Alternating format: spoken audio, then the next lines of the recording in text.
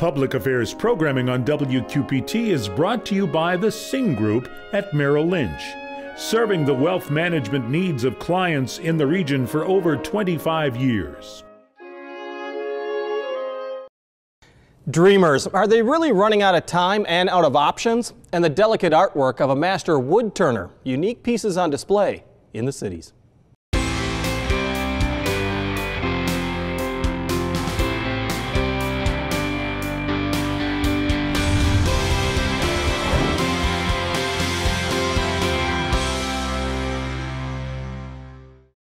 American immigration is one of the defining issues of our time, but no one seems willing to tackle comprehensive legislation. The president says he's trying to push for solutions by building a border wall, adding extra national security, and forcing Congress to act on immigration reform. Part of that push came last fall when the president gave a March 5th deadline to deal with the issue of children of illegal immigrants living in this country under the Deferred Action for Childhood Arrivals program, DACA. Well, that deadline came and went, and joining us are two people on the forefront of the immigration debate. Maria Bribriesco is the Deputy State Director of LULAC, the League of United Latin American Citizens, and Jazmin Newton Butt is the President of LULAC's Davenport chapter. Ladies, thank you both for joining us. I Thank appreciate it. Let's start with the here and now.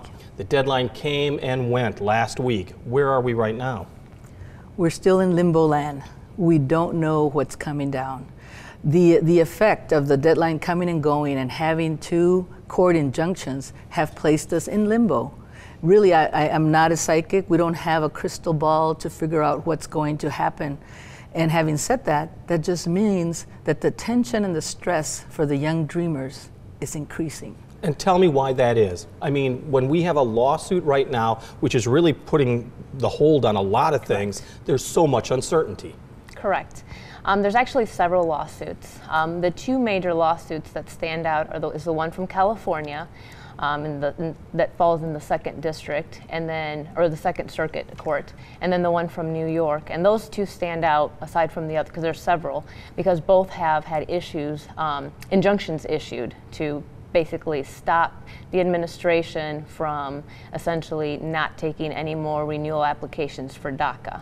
So both of those are currently in limbo, as uh, Maria said, because they, I mean, it's a, it's a, long process, the court battle is. It is. And certainly. And, and the administration tried to take it direct to the Supreme Court and pretty much skip the appellate courts. Mm-hmm. Uh, the Supreme Court uh, er, later in February said, no, we're not going to do that. There's so a process, you will follow that process. Absolutely. So meanwhile, that uh, it creates a lot of uncertainty, which causes a lot of stress to the dreamers, essentially. Um, the dreamers, well, first of all, when we're referring to dreamers, we're referring to children who were brought here by their parents who are undocumented. Um, the dreamers comprise an estimated 1.8 million. Um, the DACA program served essentially 800,000. Right. That's just the ones that came forth um, in the proverbial out of the shadows. And registered, and so to speak. Absolutely, and applied for the program. But it's estimated that there's another million out there that would qualify based on those terms. To those people in particular who, who like you said, uh, signed up and now are on record I mean, is it almost like, oh, we should not have done that? It, it certainly has created a lot of mistrust in the government. Um, they came out of the shadows, so to speak. Mm-hmm. They registered, they followed every protocol that was asked of them. Uh, they took the biometrics test, they, and they qualify. I mean, one thing that people need to understand is these people have no criminal background. They cannot have a felony. They cannot have more than three misdemeanors, or certainly a serious misdemeanor.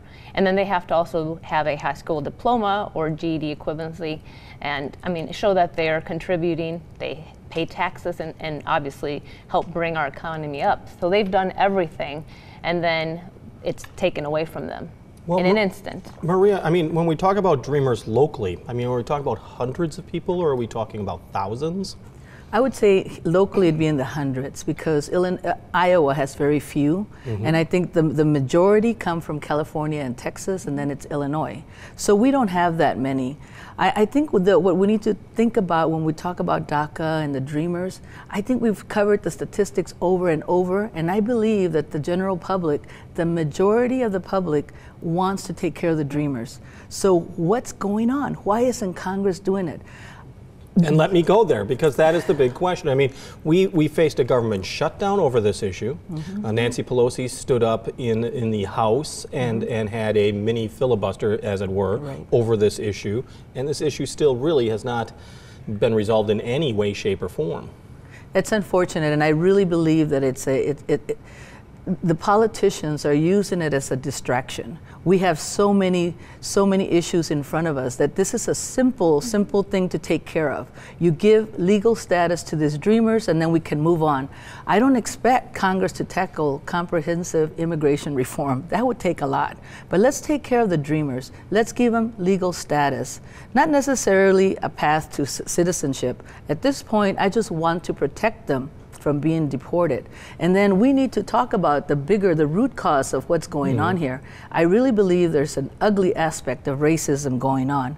LULAC is a national civil rights organization, and what, what I see from with this immigration issues, we're seeing it on the state level. Like here in Iowa, we have SF 481, which is it's, it's unbelievable that, that such a bill is be, even being considered because what it's doing it's, it's, it's requiring, if it passes, it would require local law enforcement officials to enforce federal immigration laws. Mm-hmm. And it prohibits cities from, de- from declaring or proclaiming themselves welcoming cities or sanctuary cities.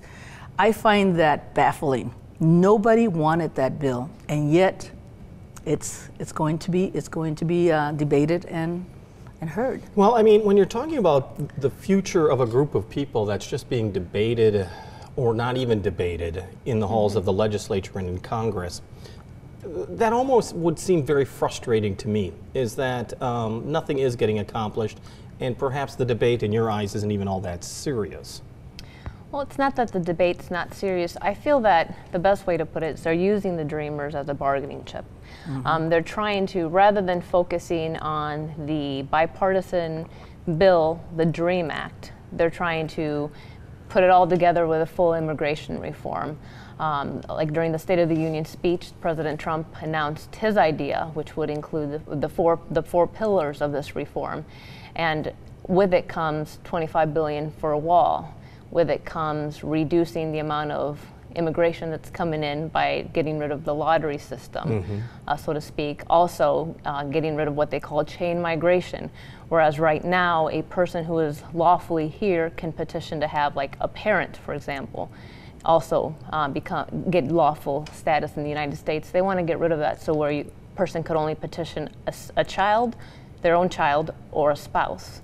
So there's too much being thrown into the limbo, and they and I think they have lost focus of the, the first and foremost issue is this the Dream Act that would help these dreamers, so to speak.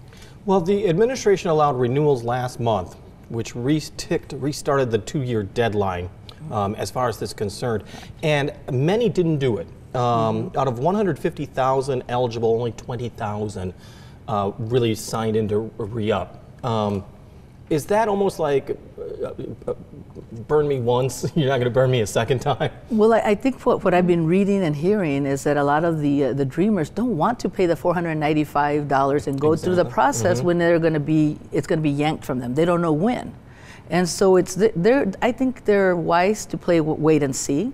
But on the other hand, I don't know. I think I'd be filing because I'd have some protection until something definitely happens.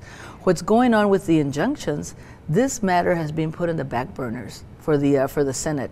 I actually called Senator Ernst's office to find out what's going on because I did research, I, I Googled and tried to figure out what's going on. Nothing is going on. And, and Andrew from Senator Ernst's office said, nope, nothing was going on. The Senate wasn't doing anything. He didn't think the House was doing anything either uh, that Speaker Ryan didn't have the necessary votes to even put immigration, an immigration bill on the floor. So what that happens, when that happens, Jim, you know what? This delay, it is putting a damper on the enthusiasm of the people that were fighting so hard for the dreamers. There's so many other things coming up that they're being forgotten, and I think that that's our job mm-hmm. to try to keep this issue on the forefront because it is very real. They're in jeopardy. They're in jeopardy of being deported. I want to go back to the renewals, though, just briefly. Is that uh, under the new plan, is that the Department of Homeland Security is accepting them, but now is processing them first come, first serve, as opposed to the ones that are closest to hitting their own personal deadline. They were trying to get those done ahead of time. So, are you recommending to people to do it, to get renewed, to be ready?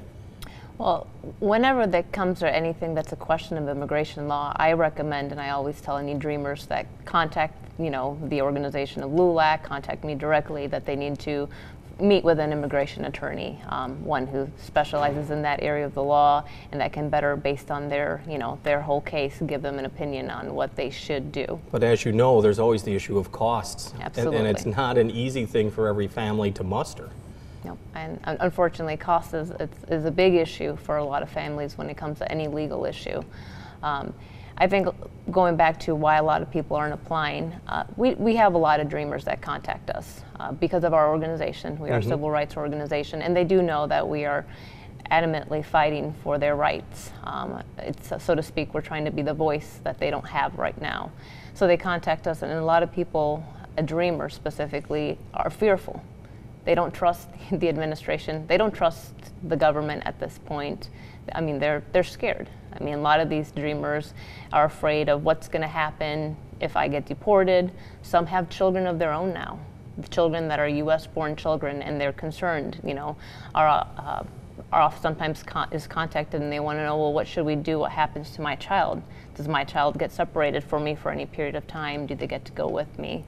So, I mean, it's unfortunately, I agree with Maria that the issue has been placed on the back burner part of the reason because of what's going on in the court system mm-hmm, that mm-hmm. that deadline that seemed to be so pressing initially when Trump said March 5th has now been placed on hold because of the injunctions that were issued out of two courts and it's speculated that a few more courts will issue similar injunctions because there are several other lawsuits out of other states that are similar in nature. Plus, also, I mean, it is an election year, and when mm-hmm. it comes to immigration issues, it is used as a political hot potato by both sides to their advantage. Mm-hmm. That's got to be somewhat upsetting because you're caught in the middle. It's not. It's not a political thing to you. No, no. It's. A, I mean, there's lives at stakes. You know, people have to know what's going to happen to them. Uh, it, unfortunately, when when it becomes politicized you, p- people don't know which way to go. Mm-hmm. So when when uh, when they call and ask what should we do, like Jazmin says, you know, you, every every circumstance is unique, but what they need to do is what's best for them all right? And what we need to do is we need to keep fighting for them. They're not citizens. So, as citizens, we have to be their voice. We're the ones that can vote. And that's why, as a civil rights organization, we make sure that we get people civically engaged. We're out there registering people to vote, we're getting them informed about the issues, and anything that smells of racial profiling. We're, uh, we're against. For instance, did you know that um, the state of Texas, I keep coming back to this uh, this bill that Iowa has, the SF 481, it's a horrible bill. They, they passed a similar one in Texas, which of course was challenged, and portions of it ha- have been held unconstitutional. This Senate bill in Iowa will also be unconstitutional because it actually encourages racial profiling. As, um, as a Mexican American, uh, Latinos, anybody that might look not, you know, blue-eyed and, and fair-skinned, a police officer will ask you, Are you a U.S. citizen? Mm-hmm. And I think we have a right to not answer. And so I wonder how many problems that will, you know, cause when, when law enforcement officers start acting like Border Patrol. Well, Jazmin, let me take you one more step. As next week, once again, Congress mm-hmm. is going to be arguing the budget. There could be another government shutdown. Do you think that this issue will become focused front and center once again like it did last time? Unfortunately, and, and again, I, am asked to speculate because it's hard to tell what Congress is going to do, but I don't think that it's going to be forefront as it was before. I think that because of everything that's happening within the court system on the issue, it's kind of just been placed on hold. So the best right now to do is what? I mean, how are you going to try to keep it in the limelight? And what are you telling people that are so overly concerned, not only about themselves, but friends and family as well? Well, I agree with Maria. What we have to do is, is continue to educate people regarding the issues. I think that when it comes to immigration issue, the issues of immigration, a lot of people don't know any the facts behind immigration. Um, just if you look at a news article that's posted on social media and then you go through the comments and you see comments that where people are saying, oh, well, they should have became citizens. It clearly shows they don't understand the issue because these dreamers would love to be citizens. They would line up tomorrow if we if we told them here's where you go to become a US citizen. But that's not the case. And that's one one, one of the main reasons we say our system is broken is that often there is not a pathway to lawful status or a pathway to citizenship. You get the last word? Well, um, I was going to talk about how the, the appeal process. Mm-hmm. We, the appeals right now in the Second Circuit and the Ninth Circuit, right. we believe that the appeal uh, judges are they lean more progressive. So we think we'll probably win. So then, exactly. will the U.S. Supreme Court accept that case, or is it too much of a hot potato and they'll say mm-hmm. no, let Congress come up with a legislative fix? But if they take it, I, I fear for the Dreamers because I think there will be a 5 4 decision and it won't be in the favor of the Dreamers. We will find out, though. Yes. Jazmin Newton, but thank you so much for joining thank us. You for Briasco, always nice to see you as well. Thank Both you. representatives of uh, LULAC throughout uh, Iowa and the Quad Cities. Still ahead, an artist immersed in wood. The amazing work of artist Steve Sinner. But first, we're marching into the new month with great activities both indoor and out, and Laura Adams takes a look at it all as she goes out and about. This is Out and About for March 12th through 18th. Hi, I'm Laura Adams. The St. Patrick Society present their Grand Parade March 17th. The nation's only bi-state St. Patrick's Day parade starts at 11:30 a.m. at the corner of 4th Avenue and 23rd Street in Rock Island. The Shamrock Bash at the Hauberg Center is coming March 17th. Delicious food, entertainment, silent auction, and cash bar. The annual KSI St. Patrick's Day race is happening March 17th in downtown Davenport starting at 8:30 a.m. While the Quad City Botanical Center holds their second annual Quad Cities Community Seed Swap. That's coming March 14th. The Figge Art Museum presents Steve Sinner, Master Woodturner, highlighting examples of Sinner's solo work. And the Bereskin Gallery is hosting a photographic exhibit titled The Magical Glow of Fireflies through April 28th. Venus in Fur, the Tony Award winning dark comedy of desire and gamesmanship, takes the stage at the QC Theater Workshop. 309 Improv is a night of downright dirty and devious uncensored improv at the establishment, rated R. Plus, Michael W. Smith's Million Lights World Tour is coming to the Adler Theater March 16. The Bucktown Revue present their epic annual St. Patty's Day show at the Davenport Junior Theater March 16th. Neil Simon's play Proposals takes place at Playcrafters Barn Theater in Moline through the 18th, and Circa 21 is holding local auditions for Mamma Mia and Madagascar the Musical Adventure. For more information, visit wqpt.org. Thank you, Laura. Singer-songwriter Beth Ann Gavin also describes herself as a mother, actress, student, vegan, and coffee and chocolate enthusiast. A true renaissance woman, you could say. She's also a frequent performer at the River Music Experience in downtown Davenport. We caught up with her on the community stage performing an original work.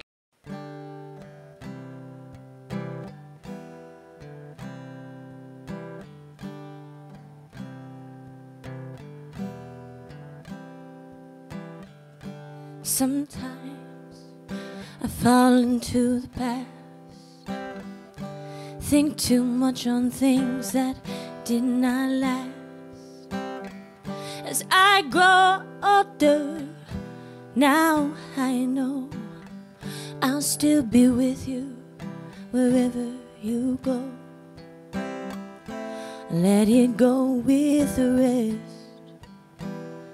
And I wish you the best.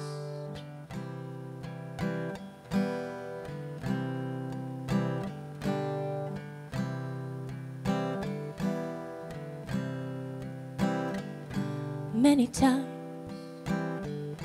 many thoughts, many times I got caught as I grow older. Now I know I'll still be with you wherever you go. Let it go with the rest. And I wish you the best.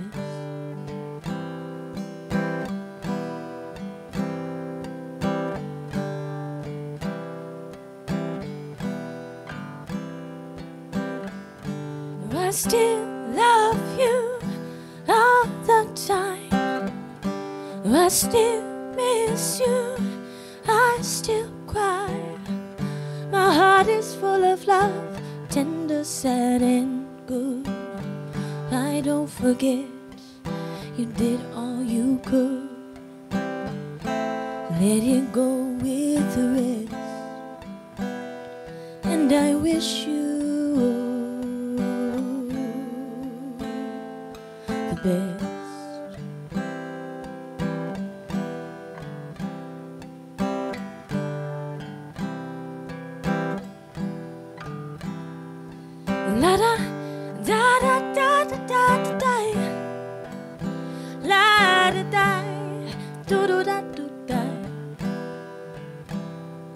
La da da da da da da da da. La da da do do da do da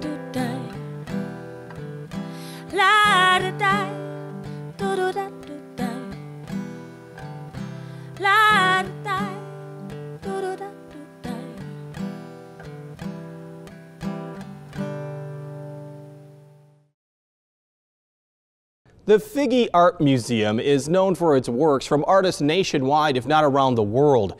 Curators are very particular about the artwork shown in its major galleries, and that's why it's extraordinary that a local artist is being featured at the Figge. But then again, he's an extraordinary artist. Joining us now is master woodturner Steve Sinner from Bettendorf, proud of the Quad Cities, and that's what makes this so unique. Like we said, the Figge, we believe that you might be the very first local artist to have such a prominent exhibit at the Figge. What does that mean? I certainly hope I'm not the last. I'm the first. That's very well said. Uh, you know, artists are, are like a lot of other people. Uh, you know, you're an expert if uh, an expert is a person that's 60 miles from home with a briefcase or something like that. It's kind of the same thing with artists. You're not really generally appreciated in your own community uh, as you are elsewhere. However, it's been a little bit different in the Quad Cities, fortunately. Now, your uh, area of expertise is very unique as well. A master wood turner, you're a master of the lathe, but there's so much more to it than that. There is. I actually, uh, when we got into this art business, I started out to be a wood turner. That was my intent. And, uh, you know, I thought I'd become a known wood turner, or I would try to, and I thought my chances of doing that and succeeding were slim and none. But I thought, what the heck, even if I uh, never uh, do finally uh, realize that desire, I would die happily trying to uh, succeed. And then I found myself uh, in venues that were featuring other artists uh, like uh, Dale Chihuly and Lino Tagliapietra. We're worldwide known artists, and we're in the same venue. Uh, people started calling me an artist, and I thought "Mm, that isn't right. And then I thought, well, if they are here and I am here, maybe I better accept the term. Well, I always think, you know, when, when it comes to uh, uh, woodwork such as that, I think of table legs, and I think of chair legs, and I think of chalices and of vases, and I think of just amazingly beautiful work. But it's more than that? It's much more than that. Uh, of course it is. Uh, this is an art form, uh, wood turning, and the associated things. It, it, it isn't really limited to wood turning itself. There are other things that get involved, but a lot of the basic processes involve the lathe, so we call it wood turning. Uh, it's only grown up uh, and been recognized as an art form in the last about 40, 45 years. And it's so new that we don't actually have a lot of terms to describe the different things that we do as uh, exist in so many other forms of art. So it's now accepted in many, many uh, uh, major museums, and most major art museums, and of course the Figge has embraced it in a, in a great way. They have a, a considerable collection of wood art, uh, and it's growing. Uh, I think what people don't also understand, and I certainly didn't know, is how intricate it is. And, and, and you're showing us one particular piece that you have here, which is amazing, because that does not look like something that could be handmade. Well, I brought this one in because there was a question about how thin or how thick uh, the vessels are. And uh, this one is, is a goblet that's made out of maple, and it's about a half a millimeter thick, about the thickness of my thumbnail. And it's been pierced so that you can uh, have a pattern, see a pattern in it. It's absolutely amazing. And so, how is is this made in the typical way that you would make? I mean, is there the lathe? Does it start with a block of wood, or Sure how it do you? does. Yeah. There's Seriously? A, a, block, a block of wood is sticking out of the lathe, and you take uh, uh, gouges. We use, by the way, chisels is a term that's probably technically correct, but woodturners don't use the term chisel. They talk about gouges or scrapers, basically. and, and gouges cut, scrapers scrape. So you would use those tools, and, and to make this one, uh, it would be sticking out of the headstock and spinning very Sure. rapidly. And you would first do the inside, And so you have the inside of the bowl. And then I set a light up here so that uh, I have a, a, a bright red light coming in here and start to turn down, establish this thickness up here, measure it. And once I see how much red light comes through that particular point, I continue on down, keeping the light the same all the way down, which controls the thickness as you go. So you see, once you find out how you do it, it's not really all that. Oh, I don't know about that. But I mean, for the audience that may not even recognize this, this is the thickness. The stem is the thickness of a toothpick, Right. and you can get even smaller. Because Yeah. Steve showed me this, which I mean, this plastic is small enough, but the intricacy of the item is just in this very little tip. You can You have amazing eyes. I'm afraid of taking it out. I'm, you know what? I will show it on camera, but I'm not going to take it out because I have a feeling if I sneeze, it goes away. If we drop it on the floor, it'll be very difficult to find it. So tell me about uh, the importance of, of you being uh, presented at the Figge. Well, as, as we talked about before, it's, it's uh, a first, we think, uh, as far as we know. And uh, I, I was floored when uh, Tim asked me if I'd like to have a, an exhibition there. I, I had never even considered that that might be a possibility. So it's, it's uh, considerable, yeah. It's, and uh, we had a, the, at the opening reception, we had a great turnout. Uh, had a good time there. It's very well received. A lot of people. And it, it's amazing to see what has been on display and what will be on display. Master woodturner Steve Sinner. The Figge highlights 30 pieces of his solo work and collaborations now through June 24th at the Figge in downtown Davenport. Please go see it. It is sponsored by the John Deere Foundation, Schaefer Interiors, Dr. Randy and Linda Lewis, and Merrill Lynch, the Sing Group. It is presented by WQPT. Thank you, Steve, so much for joining us. We do appreciate it. Thank you. WQPT is doing its part to support the military men and women in the cities who are serving our nation. We call it Embracing the Military and get ready to go ghost hunting next week on Arsenal Island. The next Quarters One Ghost Hunters Dinner Tour is next Friday, starting at the Arsenal Island Clubhouse. It starts at 6, ends at 10. Includes a rib, a prime rib dinner, I should say, and chicken buffet at the uh, Arsenal Clubhouse before the tour of Quarters One with the Elite Paranormal Society. So you can make your reservations right now with the MWR office and, and be scared out of your wits. On the air, on the radio, on the web, and on your mobile device. Thanks for taking some time to join us. We talk about the issues on the cities.